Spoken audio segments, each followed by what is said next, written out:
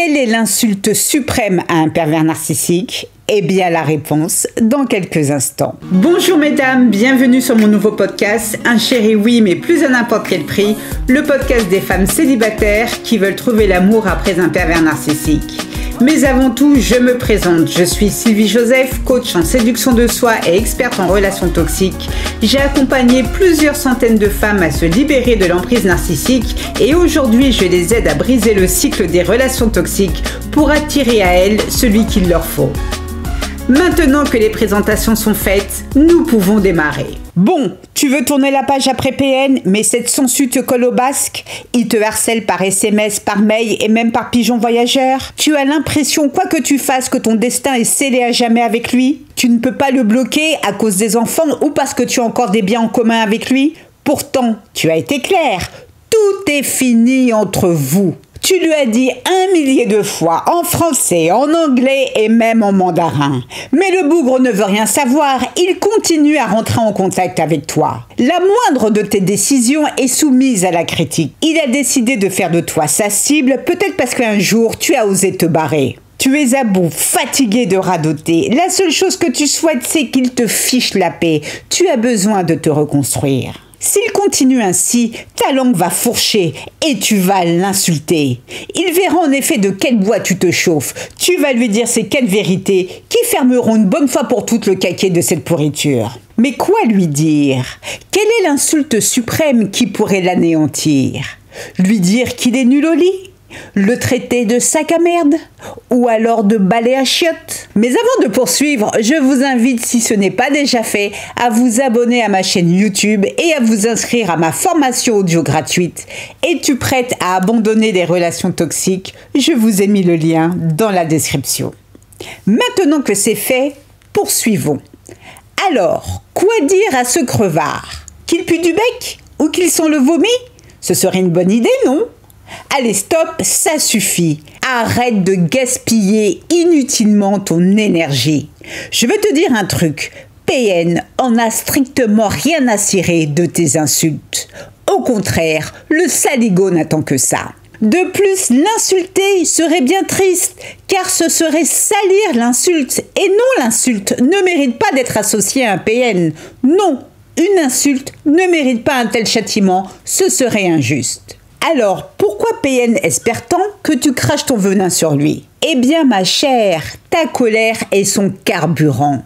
Ce qu'il recherche, c'est ton attention. C'est grâce à elle qu'il existe. Plus tu es en colère, plus la situation est jouissive pour lui. Plus son ego de pacotille est gonflé à bloc. Il s'en fout que tu aies besoin de te reconstruire. Il s'en fout de l'anxiété qu'il provoque en toi. Ça, c'est ton problème, pas le sien. En revanche, ce qui l'intéresse, c'est ton hystérie face à ses provocations. Il adore tes réactions si prévisibles à son égard. PN te kiffe pour ça. Mais la réalité est la suivante. Tu es en colère car il t'a piégé. Tu es en colère car il a réussi à te faire croire durant plusieurs mois, voire années, que tu étais l'amour de sa vie. Pour finalement que dalle tous les bons moments passés ensemble n'étaient qu'un stratagème finement monté pour te rendre accro et dépendante de lui. Et ça, ça fait vraiment mal. Et si aujourd'hui tu restes encore vulnérable à ses attaques, à sa voix, à sa présence, c'est pour deux raisons.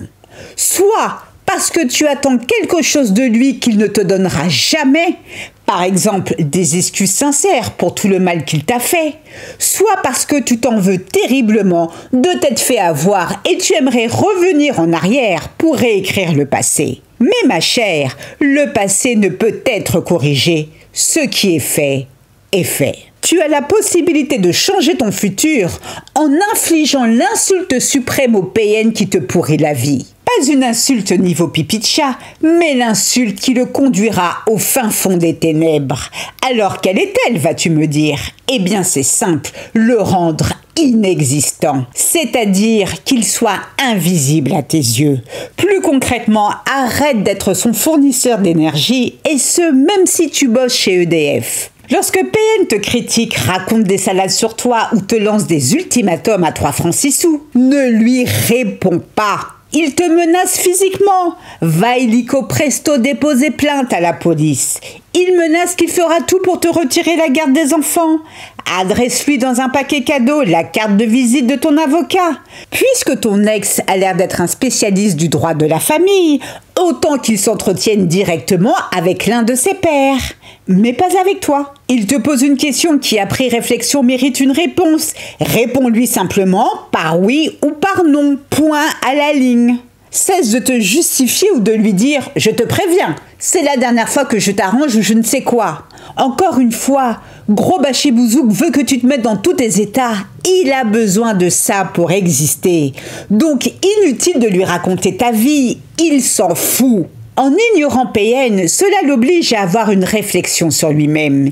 Il comprend comme un grand garçon que tu le considères comme une merde, sans jamais que tu aies eu besoin de prononcer le moindre mot. Vois-tu le pouvoir du silence? Énorme, non? Alors oui, face à ton mutisme, Belzébuth sera vénère. Avec sa langue épaisse et pâteuse, il cherchera à t'atteindre en te faisant passer pour une moins que rien. Et alors, où est le problème? Ce qu'il pense de toi ne compte pas. Sa vérité ne doit être en aucun cas la tienne, sinon tu ne t'en sortiras jamais. Ne tombe pas dans son piège en essayant de te défendre. Rappelle-toi, c'est ce qui l'attend. Économise ta salive pour des combats qui en valent la peine, pas pour un malade mental qui souhaite ta perte et qui grandit grâce au chaos. Se reconstruire après un PN est tout à fait possible et seul toi peux le décider. Travaille sur tes déclencheurs émotionnels et tu verras comme par magie que PN n'aura plus aucune emprise sur toi. Le pouvoir que détient le pervers narcissique n'est rien d'autre que le pouvoir que tu lui donnes.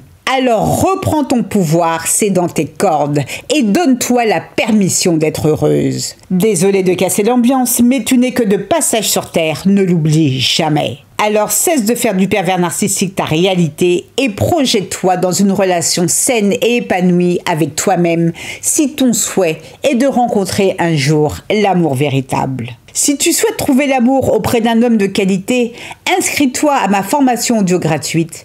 Es-tu prête à abandonner les relations toxiques? Je t'ai mis le lien dans la description. Voilà mesdames, c'est tout pour aujourd'hui. J'espère que ce podcast vous a plu.